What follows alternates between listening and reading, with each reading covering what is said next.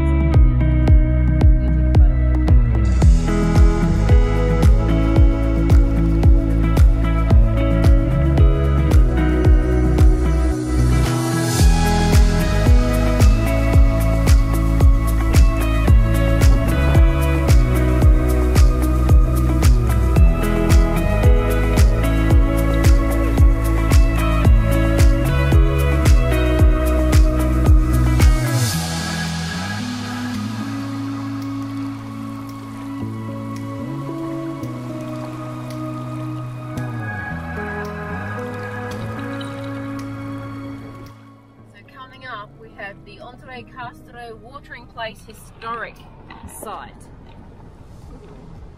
Interesting. It's got like a mist coming over it or something. Or is that just the dirt? It Must been the dust. Okay. Pretty, but you wouldn't swim here.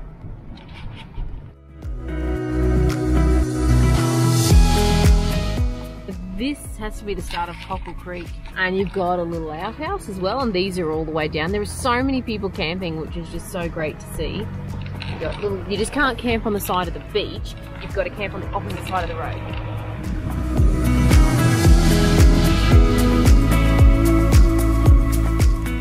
So we've come down to what is called Cockle Creek, and it's the most southern point of Tasmania and the most southern point of Australia. You can do a walk to either even further down, um, but that takes about four to five hours. I love it here. It says the end of the road accommodation. Okay, so we got this map from Hastings Caves and Thermal Springs, but it was too late in the day. We didn't even know it was there, and you've got to book about five days in advance um, because that's how busy they are. So this is the far south of Tasmania. So then you come down to here, and we have come past Catamaran, and then we have come down. We can come down to Cockle Creek, which is here, but then to do this walk and the southeast cape. That is the most southern tip. Look at that.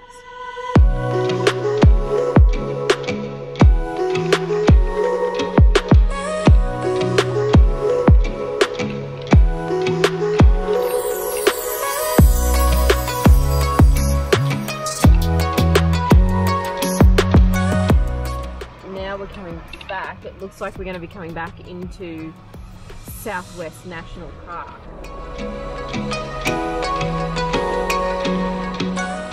Oh wow, long vehicle turnaround section. Did you see the lightning? A big crack of lightning just went down. And this is the na national park.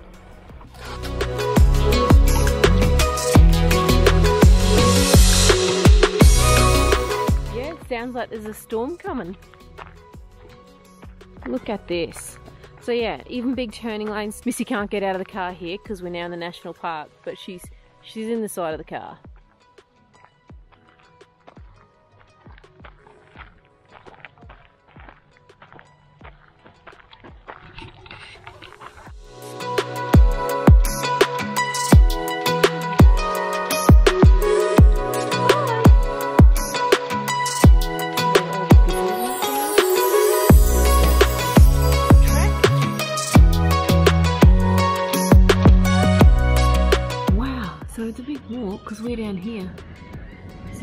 To the South Cape, you can go up here. No rainwater tanks, so water can be collected from streams and rivers.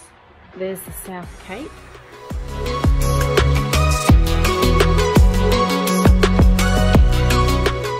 So you come out here and they've got some nice toilets and they've got, here, here we go. This tells you about some of the walks. So you've got the South Cape Bay, four hours return. The South Coast track, six to eight days one way. Wow. And then you, you do a registration here at the information centre.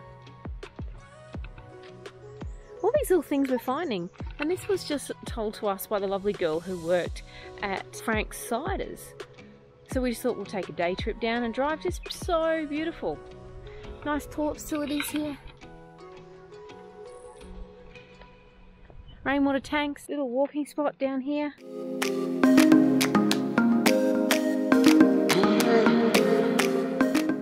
The little inlet. You can hear all the kids playing. There's so many families camping along the way. It is just amazing. It's so good to see people out and about in the outdoors having fun. It was impressive lightning, wasn't it? Me and the dog. Mike's beef jerky. Even the dog loves it. Heard you met Mike? Met Mike. Good bloke. Mike Epp. really good beef jerky. What makes it so good? Well, it's not as dry as most beef jerky is. And the cracked pepper, I don't know what he does with it, but it's really nice. And you get a good 900 gram or 90 grams in it. 900 90, grams would be huge. 90 grams, so it's a steak in a packet. What do you think? Did you get new toys today? Some mummy bought you, spoilt you. You got a new bed this trip. And new soft toys. Happy puppy.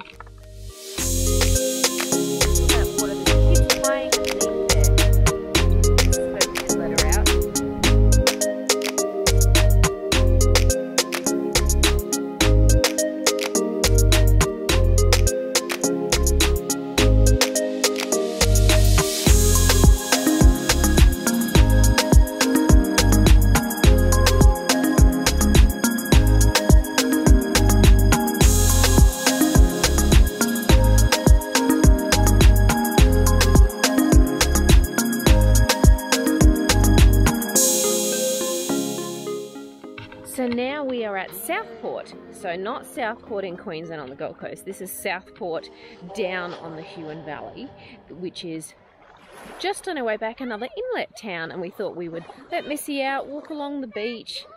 Just pretty. Hi.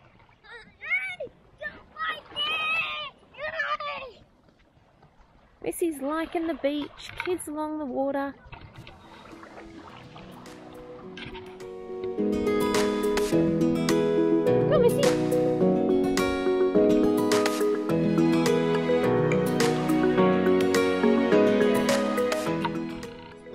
Um, possum shed. Possum shed. With the dog, chasing the possums. Chasing the possum, you're so funny. Yeah, yeah. Do you love it? Entry, VIP entry only, very important pooches. Servants must register at the front counter before entry. Good on you, you're the servant. Well done. I'm carrying the bag,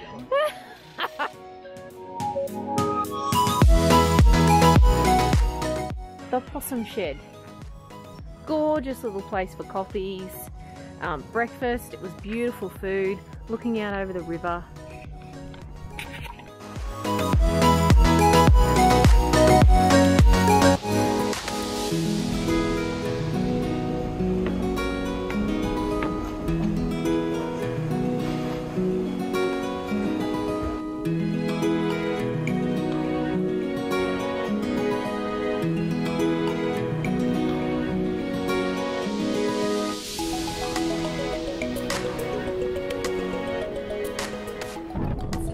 Now going over Lake Meadow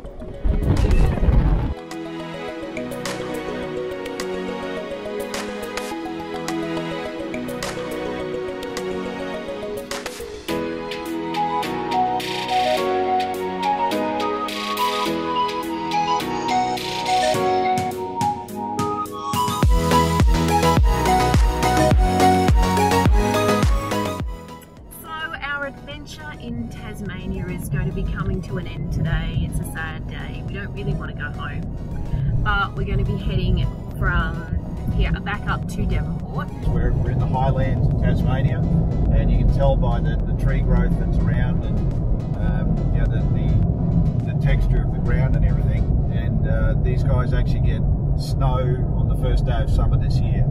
So um, yeah, it's quite spectacular Tasmania in relation to the weather, and there's beautifully dotted little cottages and churches around the place. Absolutely. Spectacular drive. Absolutely. It's been gorgeous, like all the little spots where we saw heaps of sheep and they were running in lines. It was a classic. Um, and the air is just so fresh and clean and the, the sky is so blue. Just, And it's a balmy 16 degrees with a wind chill factor of probably about 10. yeah, So it's nice and crisp. it is. It's lovely. And what are we? January 14th. Like, crazy. Like, in, in Brisbane, we're going to be sweltering again. Sad face. Sad face. Don't want to go home. Don't want to go home. Little echidna. He's crossing the road. Hello. Go a little bit closer to the left. He's over. Just drive over a little bit. He's, he's off the road. Yeah, yeah, he's off the road. He's over here. Now straighten up.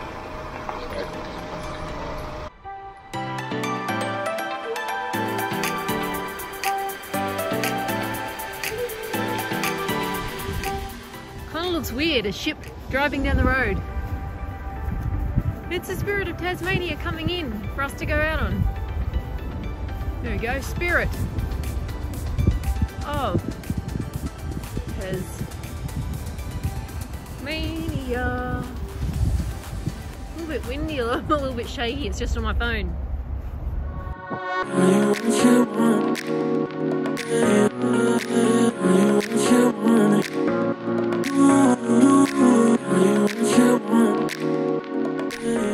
We've got sheep on board. So if we stop halfway through the Tasman. Ah, God! Truck. When you come to New Zealand, if you're a ginger beer fan. Not New Zealand. Oh, not New Zealand. Where are we? We're in Tasmania. Tasmania. Sorry, getting confused.